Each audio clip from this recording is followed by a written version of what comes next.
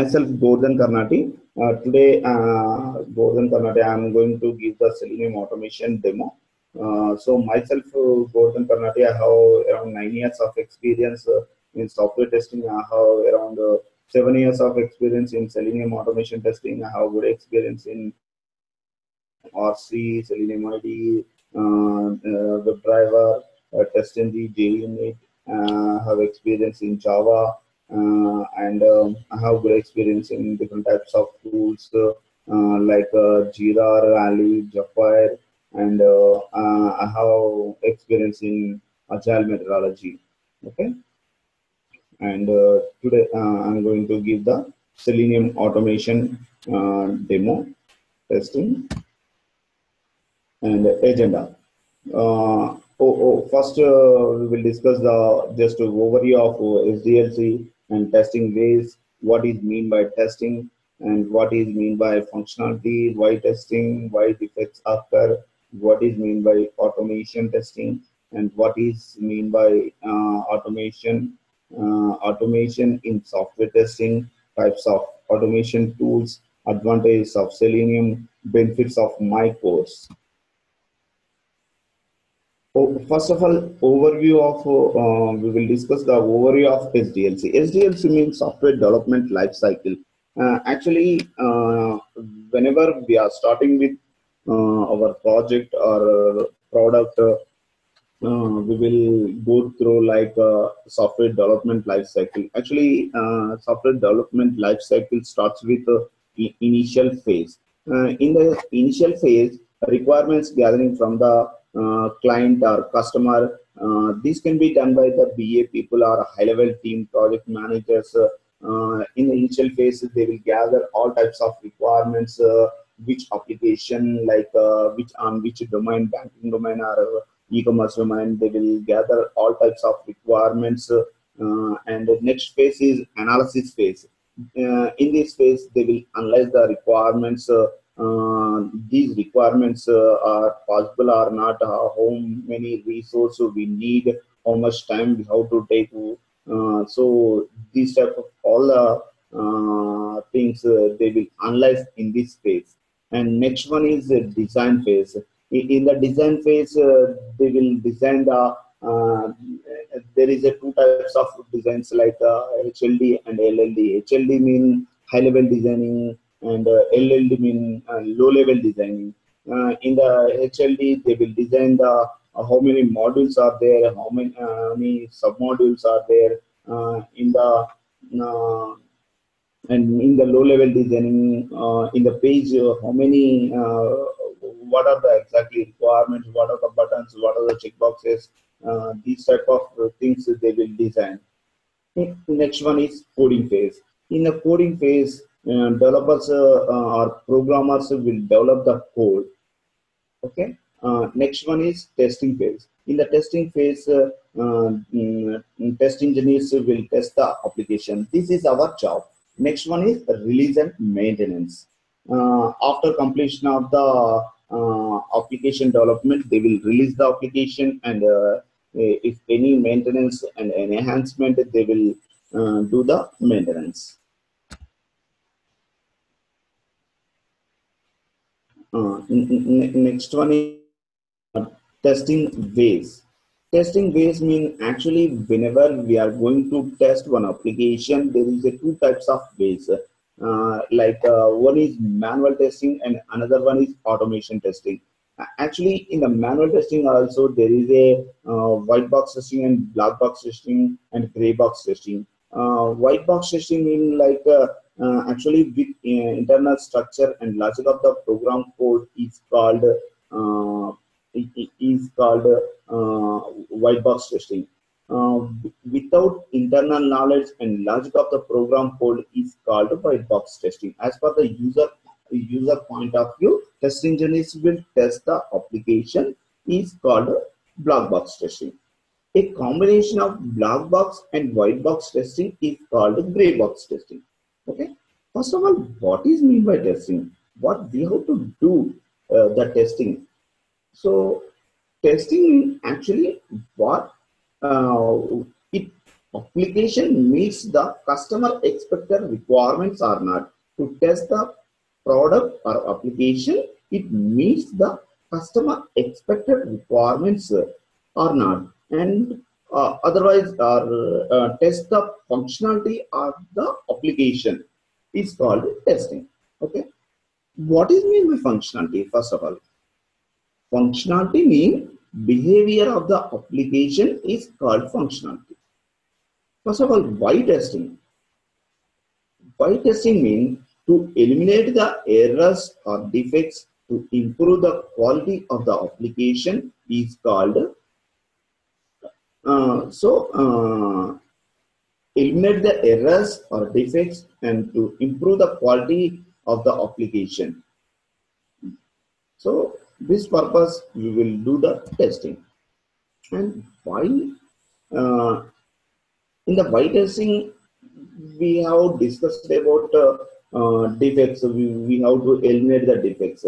First of all why defects occur actually in the companies they will give the uh, requirements like a one year requirement uh, they will say it's like uh, uh how to development in three months. Uh, uh, otherwise like three years application they will give they will say it's like how to development in six months. I mean it's a time pressure. Okay? This time pressure and miscommunication. Miscommunication mean in our companies, uh, every day we will discuss like uh, different types of uh, clients uh, like US uh, clients, UK clients, uh, Japanese clients, Chinese clients. their their accent is some different. like they are saying something, sometimes we are understanding something. So in that case, there is a miscommunication and uh, uh, some, uh, next one is uh, dynamically changing the requirements. Uh, dynamically changing the requirements mean uh, sometimes uh, uh clients uh, they won't get the clarity about the application.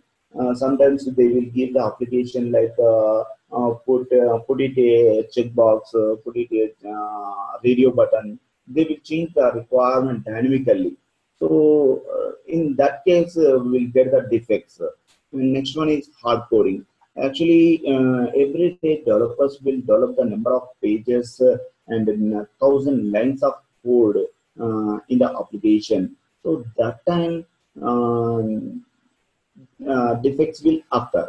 And next one is lack of documentation. In, in the lack of documentation, mean like uh, every day we will develop the number of requirements for each and every requirement uh, for documentation, it's uh, very difficult to prepare the documentation. So, for uh, so uh, number of times uh, they won't give the uh, clear um, documentation. in agile methodology, there is no documentation. They will explain the requirement um, and they will write the just briefly in the ticket so that time there is no documentation. In that case also we get the defects. Okay. And next one is uh, what is automation testing? Actually, what is automation? Uh, automation actually automation is a process of implementing a particular work automatically by using a machine, uh, uh, mission or tool. Okay, or uh, we are using a software to reduce the need of uh, human resource or human work in the production of goods and service. Whatever it is, if you are developing, if you are working, if you are manufacturing a particular product, uh, then in, in, that case, if you are using a machine or tool, it's called automation. Okay. In, in automation, automation uh, in software testing. Uh, actually, it is a process of testing an application. Actually, in in this uh, uh soft automation uh, software testing, uh, we will prepare the test cases, we will execute the test cases, we will compare the result, and we will generate the reports. In, in, this we will use number of automation tools like we will use uh, Selenium, QTP, RFT, Silk Test, different types of uh, automation tools we can use. And the next one is uh, types of automation. Actually, uh, in the market, there, there is a number of tools are there available, like uh, um, paid tools, uh, like uh, and open source tools. Uh, there is a in the paid tools there is a QTP, WinRunner, Silk Test, uh, these type of tools. So these these tools are very expensive, and uh, in the open source tools like uh, there is a Selenium, uh, Sahi, Sikuli, Auto IT, these type of tools. So these are freeware, so we can freely download in the uh, Google and we can use these tools. uh, okay, and uh, actually, what are the advantages of Selenium? Actually, uh, see, uh, in the market, there is a lot of automation tools uh, are there. Then why you choose Selenium only? Okay, so mean like uh, you say it's like uh, uh, actually Selenium is a open source tool. That's why I'm choosing the Selenium automation tool. Selenium, okay, it's okay. That, that is you are saying like Selenium is a freeware you are choosing. But in the freeware also, there is a lot of tools. Uh, uh, other tools like uh, Sahi, Sikuli, AutoIT, There is a lot of tools are there. Then why you choose only uh, Selenium? Actually, Selenium is an open source tool and it can automate any web application. There is a lot of advantages with Selenium. Uh, it is a perfect uh, browser automation tool. And uh, uh, if you want to uh, see, for example, if you take QTP, it's a, a, high expensive tool. If you want to write your automation script, you have to learn VB script. You have to write only on VB script.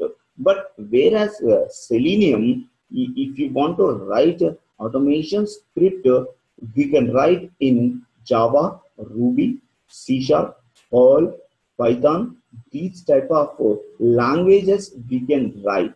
Whatever uh, your application is developed on uh, Java, Ruby, uh, any language, you can easily write your automation script in these languages and we can easily execute.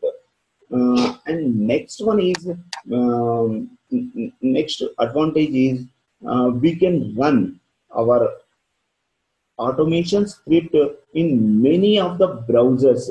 Uh, if you take the QTP, we have to execute only on a e browser. But mm, in our Selenium, we can execute our automation script in a e browser and Firefox browser, Chrome browser, Safari, Opera, etc. These type of number of browsers uh, uh, we can uh, we, can execute our Selenium automation script. The, this is a very good advantage because in our application, uh, our client says like uh, uh, how to test the compatibility testing. Compatibility testing means um, we have to uh, in the compatibility there is a two types of uh, testings like browser compatibility and system compatibility. The browser compatibility, uh, we have to test these type of number of browsers and number of versions. Um, in, in- in this also there is a different uh, two ways. One is uh, um, backward compatibility and forward compatibility. Backward compatibility means uh, older version of the browsers also our application how to execute how to run the application forward compatibility mean uh, updated versions also uh, we can execute uh, we can open we can browse our application. Okay? That is the forward compatibility. In the system compatibility uh, as per the client requirement uh, uh, the system depend upon the system configuration we have to uh, open our application. That is system uh, compatibility testing and uh, Next one is and very important advantage is uh, advantage of Selenium is uh, actually Selenium can handle we can execute number of operating systems, number of OS, number of operating systems. Uh, like uh, our script, we can execute Unix, Linux, Windows, Mac, etc. These type of operating systems, so we can easily executing. We can execute. Actually, if you take uh, QTP, we have to execute only on Windows operating system. It cannot support uh, like uh, Unix, Mac, uh, Linux, other operating system. It's very difficult to handle. It is not handling. It's uh, uh, it, it is not handling. Uh, actually, this is the only main reason there are small and medium range companies are migrating or uh, migrating to Selenium. They are going to implement the Selenium. Actually, sometimes uh, they are developing their automation script uh, in Windows operating system. They have to execute in other operating system. That is possible only with Selenium. This is a very, very good advantage. This is the only main reason they are migrating to QTP to Selenium or other uh, automation tools to Selenium. Okay. And the next one is uh, Selenium also can handle the uh, other advantages like uh, it can handle the uh, checkboxes, radio buttons, uh, links, these type of all the all the things it can easily handle. And it can handle the alerts uh, and it can handle the frames uh, and it can handle the mouse over events it can handle the multiple windows uh, handling. it, multiple windows mean whenever we are opening the application uh, if you are clicking the button or link it is opening one window. Uh, in that window if you are clicking the button or link uh, again it will open other new window. Uh, in that way it will open number of uh, windows.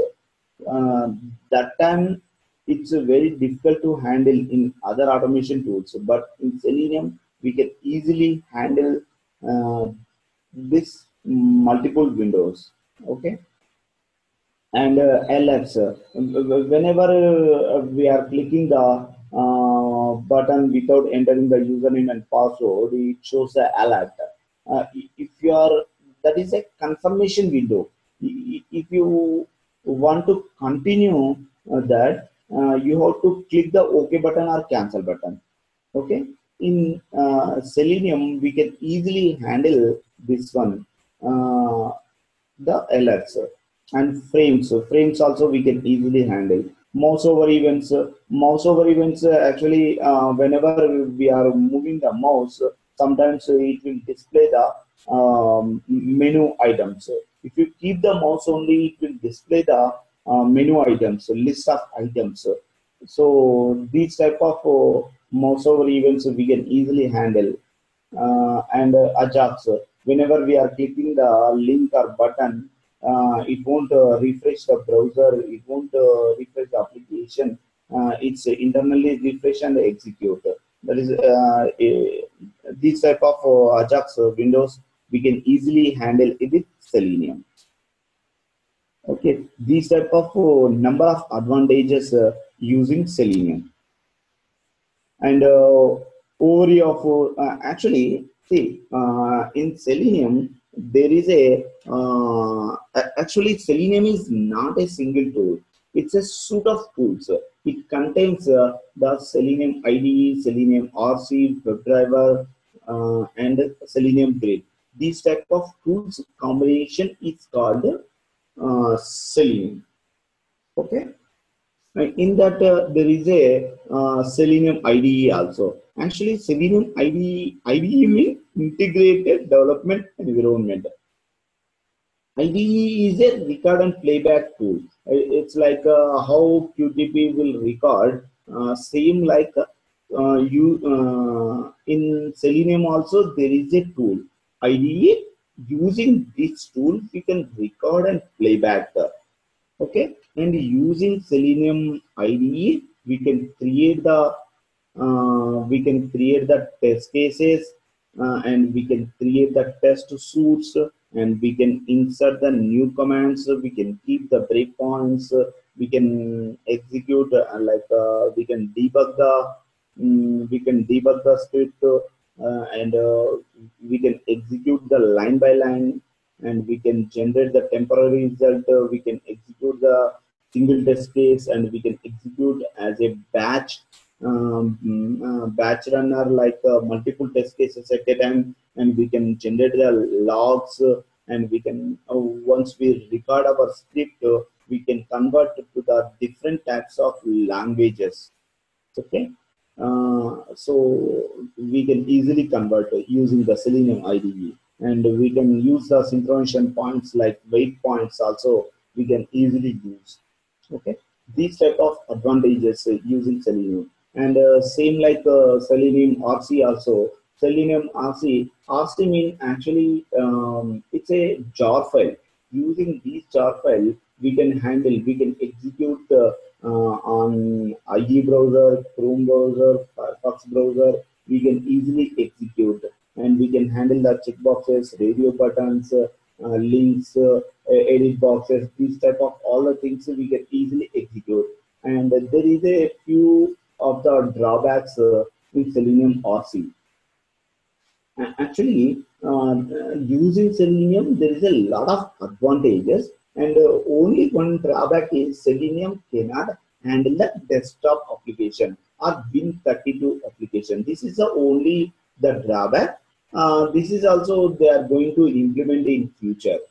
Okay, uh, and uh, next one is uh, in Selenium RC uh, it's a bit problem to handle the uh, alerts of frames uh, in mouse over events and multiple windows handle. But uh, with WebDriver, we can easily handle these type of all the things. WebDriver is a perfect, perfect browser automation tool. Okay, using this WebDriver, we can handle any application uh, any web application we can uh, handle. Okay. Uh, using WebDriver, we can handle the alerts, we can handle the mouse over events, multiple windows handling, we can easily to handle all the things and we can handle the Ajax also. Okay. Uh, so next one is benefits of my course. Actually, in my course, uh, uh, I will explain you like the Selenium IDE, using IDE, how we can uh, create the test, uh, how we can create the test suits, so how we can check the uh, logs, uh, how we can convert the different types of languages, uh, how we can create the batch runner like uh, multiple test cases, and how we can execute at a time all the test cases, and how we can keep the breakpoints, how we can uh, use the synchronization points. Uh, all these things uh, I will explain you in Selenium IDE. And uh, next one is Java. In Java, I will explain you uh, you uh, basic Java. Like I'm not going to in depth of Java. I'm not going to explain in depth of Java. I will explain you how much depth we need to uh, learn in Selenium, uh, how we can develop using the Java uh, how we can develop our Selenium automation script using Java. In that depth, I will explain you Java.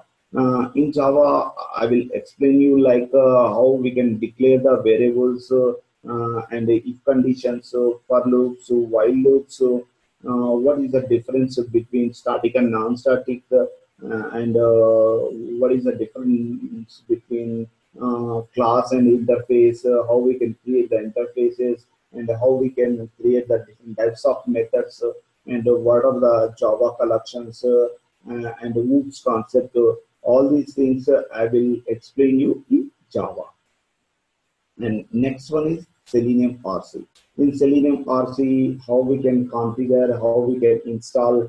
Uh, in, in, Java, I will explain you how we can use the uh, Eclipse editor and how we can develop uh, the Java.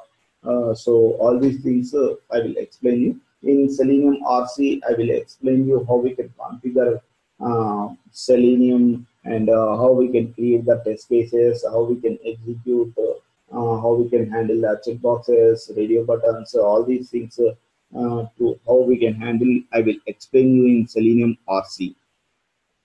Okay, and uh, next one is JUnit. Uh, in JUnit, uh, what is the advantage of JUnit uh, and what are the annotations? how we can generate the temporary result? how we can check the errors?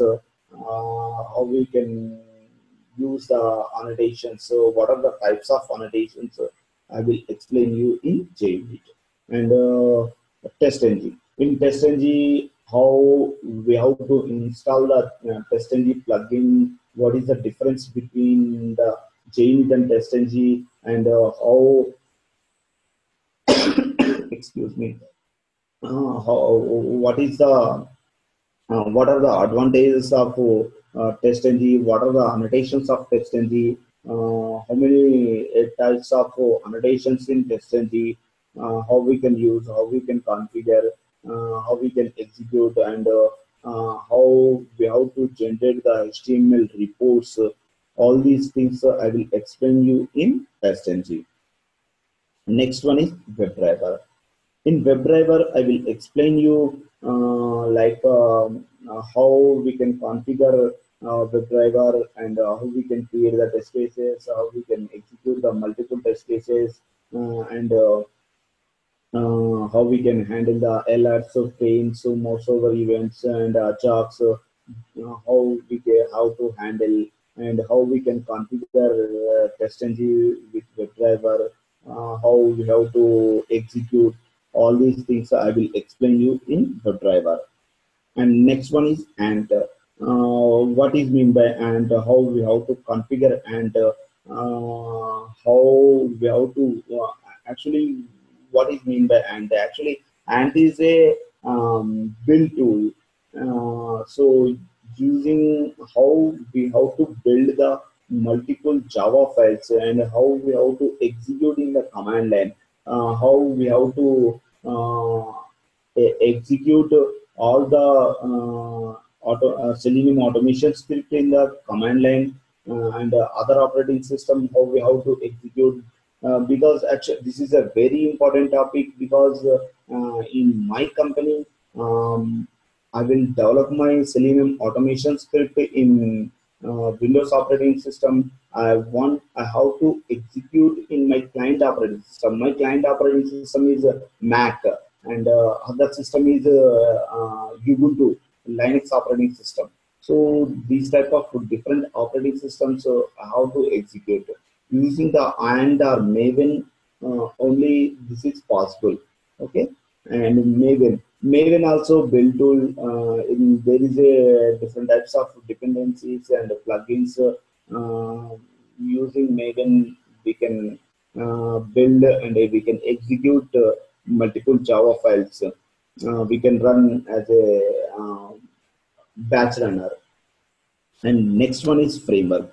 Actually, in the framework, uh, I will explain you uh, a uh, general framework like mean how we have to uh, execute multiple test cases and how we have to create the property file and screenshots folder and how we have to execute the basic uh, uh,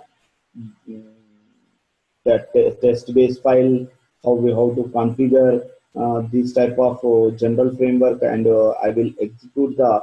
Uh, I will explain you the WebDriver TestNG data-driven framework.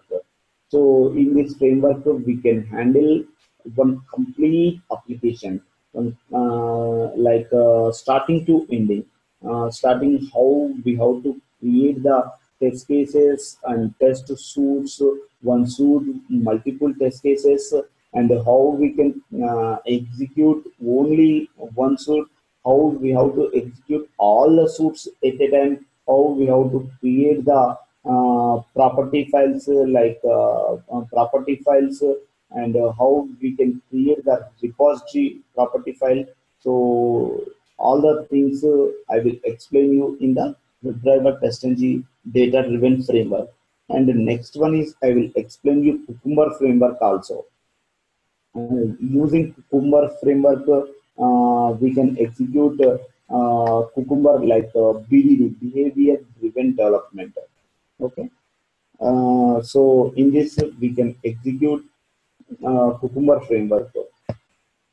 Using Selenium, we can handle the Cucumber framework also. Okay. Um, this is my demo. Uh, thank you. Uh, if you have any questions, just let me know.